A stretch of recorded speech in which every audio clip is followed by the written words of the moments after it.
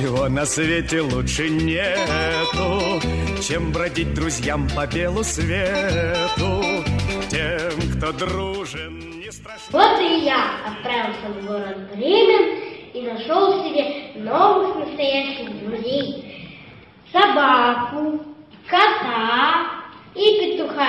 По пути нас ждали увлекательные путешествия и даже опасные приключения. А если вы хотите узнать, какие приключения ждали музыкантов, прочитайте сказку «Братьев Гримм. Бременские музыканты».